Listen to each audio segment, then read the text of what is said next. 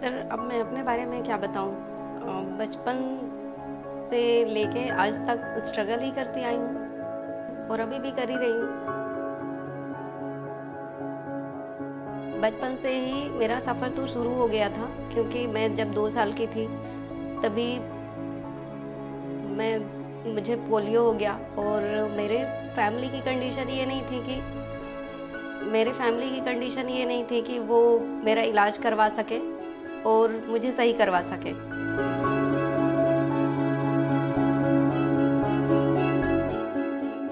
अपनी ज़िंदगी की स्टोरी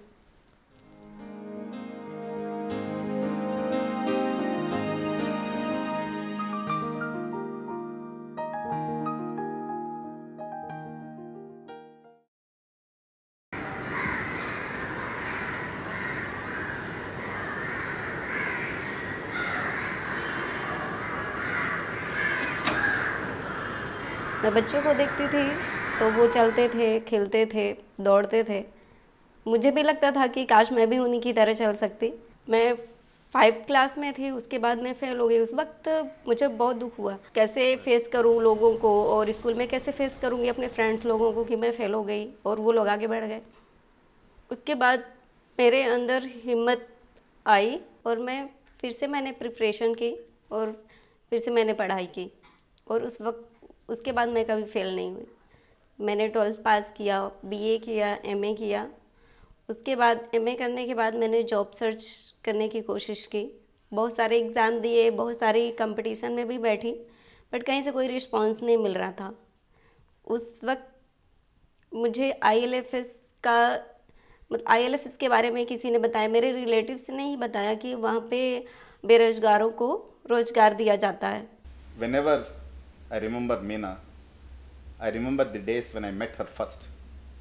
भोपाल में एक रोज़गार मेला में मिला था। जिस दिन उनको देखा था I still remember I was moved I was actually tears in my eyes because this is the purpose for which we started skill development programme in island affairs आम दिनों की तरह हम लोग सीधी सेंटर पे थे। ट्रेनर्स के एनरोलमेंट हम लोग नए बैच के लिए कर रहे थे। तभी मैंने एक लड़की को देखा। जो कि घिसटते हुए अपनी मम्मी के साथ में आ रही थी। और आने के बाद उन्होंने ट्रेनिंग के बारे में मुझसे इन्फॉर्मेशन जानना चाहिए उन्होंने कहा कि हमें ट्रेनिंग करना चाहते हैं। मैंने सोचा, मुझे लगा कि लड़की कर पाएगी। मैंने इसकी मम्मी की तरफ़ देखा। अचानक इसकी मम्मी की आँखों में मुझे आँसू दिखे, वो रोने लगी। मैंने फिर इस लड़की की तरफ़ देखा, इसकी आँखों में देखा। ये रो नहीं रही थी। तो मुझे लगा कि ये कुछ कर सकती है। और मुझे लगा कि मुझे इसकी सपोर्ट करना चाहिए। जब भी मेरे घर में कोई भी आता था, मेरे मतलब मेरे फैमिली से मिलने या आसपास के लोग तो वो यही बोलते थे कि आपकी जो ये लड़की है तो इसकी तो ज़िंदगी बर्बाद है, इसकी तो शादी नहीं हो सकती और ज़िंदगी भर के लिए आपके बोझ बन के रहेगी। उस वक्त मुझे बहुत दुख होता था। बट मैंने ये सोचा कि मैं अपनी फैमिली के लिए बोझ नहीं बनूँगी, बल्कि उनका सहारा खुद ही बनूँगी। और उनको खुद पालूँगी। उनको भी मेरे ऊपर गर्व होगा कि मैं लड़की नहीं उनके लिए बोझ नहीं। मैं उनको लड़का बन के दिखाऊँगी। She went through a difficult phase in her life and acquired skills and with the support of our trainers, employers, everyone, today she is successful employed. चार साल से काम कर रही है। एक बार बारिश में ये अपने ऑटो से उतरी तो उसके कपड़े पूरे कीचड़ में हो चुके थे। उसके बावजूद भी ये अठारह सीढ़ियाँ चढ़ते हुए ऊपर गई और उस क्लास में बैठी। वहाँ पर इसका ध्यान अपने भीगे हुए कपड़ों पर कीचड़ लगा था उस पर नहीं था। इसका पूरा ध्यान अपनी पढ़ाई पर था।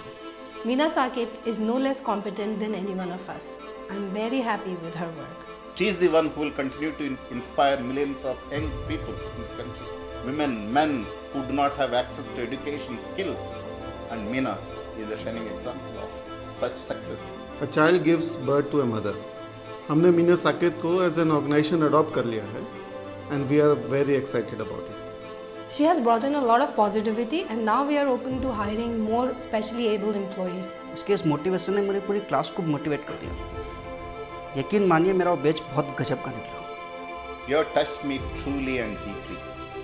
Your resilience continues to inspire me. I'm surprised that one single person has made such a difference. I'm glad that you came to our lives. Thank you, Meena. Thank you Thank you, Meena. Thank you, Meena.